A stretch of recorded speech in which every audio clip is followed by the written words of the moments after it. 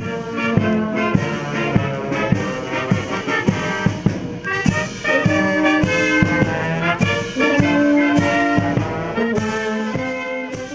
Mieszkańcy miasta i gminy Stawiski oraz zaproszeni goście już w niedzielę 6 listopada uroczyście rozpoczęli świętowanie 104. rocznicy odzyskania przez Polskę niepodległości. Uczestnicy uroczystości zebrali się przed budynkiem Ochotniczej Straży Pożarnej w Stawiskach, by wraz z kompanią honorową żołnierzy z ośrodka poligonowego w Bemowie Piskim oraz pocztami sztandarowymi jednostek organizacyjnych gminy Stawiski przemaszerować do kościoła parafialnego. 104. rocznica obchodzona w niedzielę, tradycyjnie już u nas od, od trzech lat, tradycyjnie obchodzona w niedzielę przed 11 listopada. Obchody Święta Niepodległości są ważne dla nas wszystkich Polaków, także dla mieszkańców gminy Stawiski. Dlatego to jest właśnie niedziela, bo wtedy mieszkańcy nasi mogą, mają ten czas wolny, kiedy mogą się spotkać, y, przemyśleć, y, snuć refleksję tak naprawdę nad tym, jak ważna jest niepodległość i to, że żyjemy w niepodległym kraju.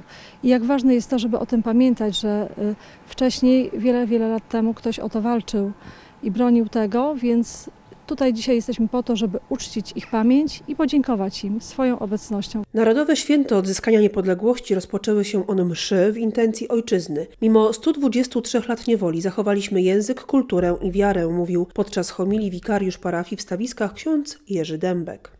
Bogu niech będą dzięki, że nie pamiętamy i nie doświadczyliśmy głodów, cyrki, niewoli, kajdan.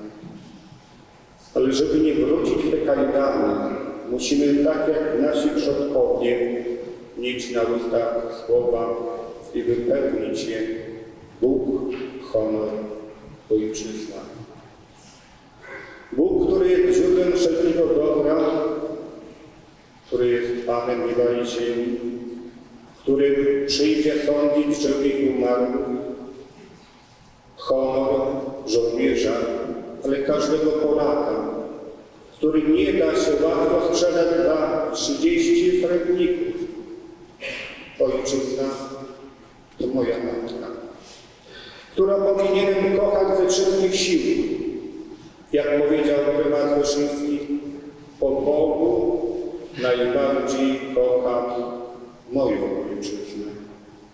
Czy dzisiaj mam świadomość, kogo powinienem kochać? Dla kogo powinienem spalać moje siły? Jeśli wiemy, to już dzisiaj podejmujmy ten trud, aby nie tylko nasza ojczyzna była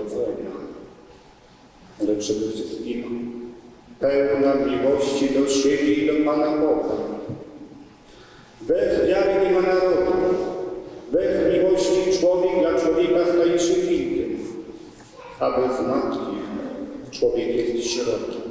Uroczystości miały wyjątkowy charakter, bo po raz pierwszy flaga Polski została wciągnięta na maszt, który już na stałe wzniesiony został na centralnym placu stawisk przy pomniku poświęconym bohaterom walk o wolną Polskę. To rezultat wygranej tej miejscowości w rządowym projekcie pod biało-czerwoną. Blisko 4000 głosów oddanych w tym projekcie dało stawiskom najlepszy wynik w Polsce. Akcja ta miała na celu zapełnienie naszej ojczyzny biało-czerwonymi flagami eksponowanymi z dumą i godnie, z pozytywną modą na patriotyzm znaną z wielu krajów, mówił wiceminister Adam Andruszkiewicz. Przekazał także treść listu premiera Mateusza Morawieckiego z gratulacjami dla społeczności stawisk. Są to uczciwości podniosłe, patriotyczne. Widzimy wojsko, które zawsze, kiedy, od kiedy pamiętam, dla młodzieży dzieci jest bliskie. e, Ten taki mundur, który imponuje, ale również ta uroczystość podniesienia uczystego flagi na maszt, tak, biało-czerwonej, która będzie na co dzień e, powierzać e, w centrum stawisk. To jest również bardzo ważne dla mieszkańców całej gminy.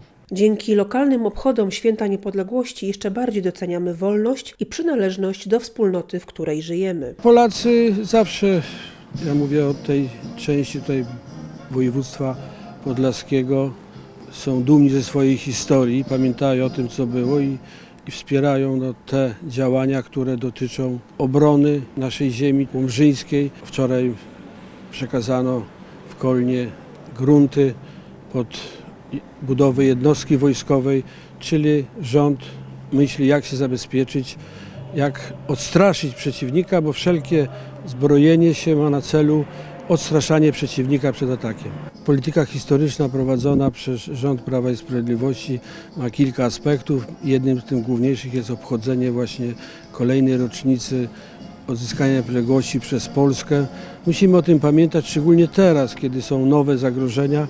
Pamiętać o tym, że w roku 20, zaraz po odzyskaniu niepodległości, była wielka bitwa, wojna z Rosją. Wtedy udało się zatrzymać Rosję przeciwko temu, żeby poszła na zachód z komunizmem.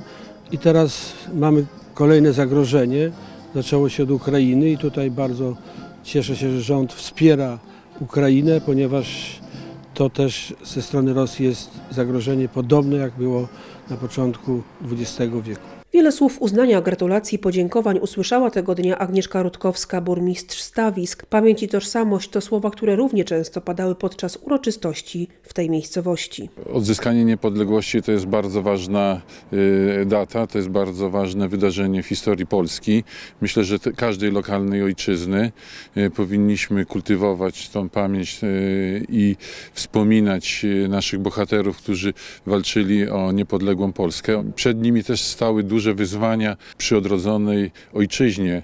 Powinniśmy czerpać doświadczenia z tych y, wydarzeń, z tych y, okoliczności i również w dniu- dzisiejszym, w sytuacji wojny na wschodzie, też dbać y, o naszą niezawisłość, nie, niezależność, wzmacniać si siłę obronną państwa, wspierać rząd w tych działaniach. żeby zachować i postawę właściwą dla przyszłości, gwarantującą przyszłość naszej ojczyzny i świadomość e, i e, e, siłę e, ducha narodowego, trzeba wiedzieć skąd się przyszło, trzeba znać swoją historię, trzeba znać dzieje własnego narodu. Zresztą ja ciągle powtarzam takie oczywiste chyba zdanie, że bez e, wiedzy historycznej, bez wiedzy o dziejach państwa i narodu polskiego nie ma prawdziwego patriotyzmu. Patriotyzm jest budowany na, na, na, na wiedzy, na związku z e, historią, z tradycją własnego narodu, a patriotyzm z kolei jest podstawą przyszłości.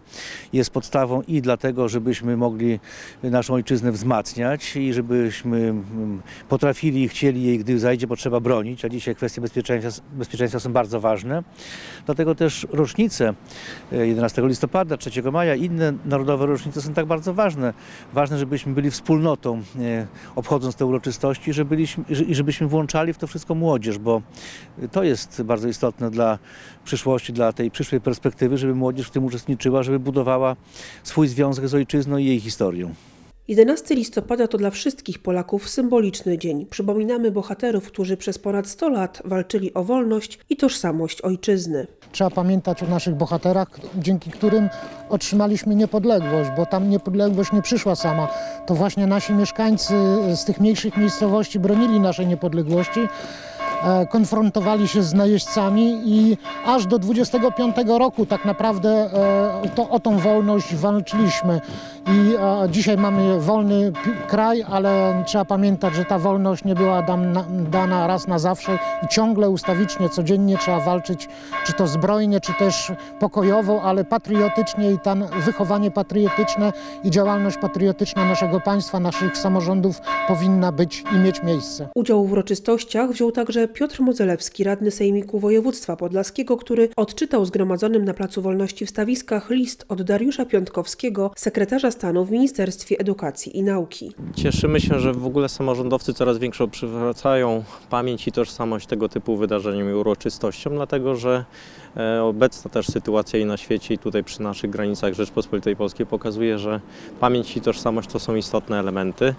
E, Wczoraj też mieliśmy bardzo ważne wydarzenie. 5 listopada powstaje nowa jednostka wojskowa w e, mieście Kolno, ale to będzie całe oddziaływanie na cały region ziemi łomżyńskiej i północno-wschodniej flanki Wojska Polskiego. Cieszymy się, że obecny rząd zwraca na tego typu uwagę, żeby ludzie czuli się bezpiecznie.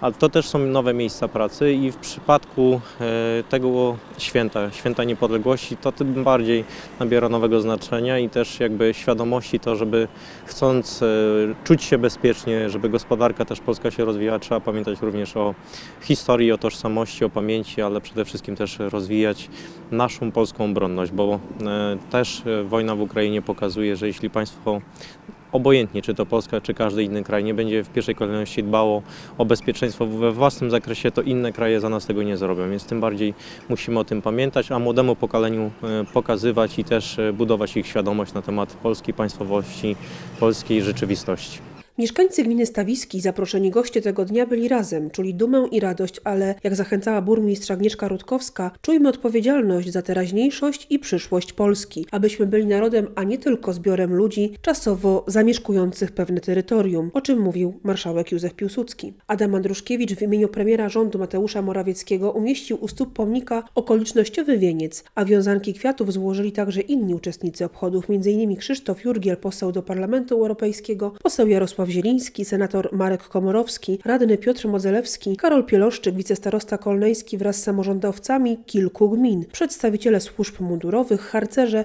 oraz liczna grupa mieszkańców. To piękna, wspaniała. Wspaniale. Wspaniale. Tak. Dlaczego? No bo i, i oprawa piękna, wypowiedzi, i msza święta, kazanie pięknie wikariusz powiedział, także naprawdę wspaniale było. I cała oprawa tutaj na placu pod każdym względem, także warto było e, być tutaj, uczestniczyć i także to jest wspaniale. Czy możemy czuć jedność, to ja nie wiem, bo, bo media robią bardzo dużo złego. Niektóre media. E, A czy jedność? Tak, tutaj było to widać. Tutaj było to widać i ja bym tylko oczekiwał, żeby pozostałe media robiły też taką dobrą robotę, żeby było tak nam coraz bardziej do jednego. Piękna uroczystość e, podniosła, podniosła. E, No i co jeszcze? No, chcieliśmy, chcielibyśmy, żeby to e, było więcej tego, takich uroczystości. No i co jeszcze? No, no już ja nie wiem sam, co, co dodać, no bo pięknie było. Tak, pięknie było. Wszystko dobrze. Wszystko dobrze. Dziękuję za wszystko, co, nam robicie. Da, no i każdy po rusku, po polsku. Nam wszystko podoba się, że Polska nas przyjmuje i wszystko dobrze. Podobała się e, e, salwa honorowa. U nas takiego, no, ja nie pamiętam. Wzywam wszystkich rodaków którzy spełnili swój obowiązek wobec ojczyzny, składając na jej ołtarzu największy dar swoje życie, a ich mogiły, rozsiane po całej Polsce i świecie, są świadectwem dziedzictwa, polskiej tradycji niepodległościowej oraz naszej pamięci i tożsamości. Stańcie do! Wojskową oprawę całości z przemarszem orkiestry i kompanii honorowej, apelem pamięci i salwą honorową zapewnili żołnierze z ośrodka poligonowego w Bemowie Piskim oraz orkiestra wojskowa z Giżycka.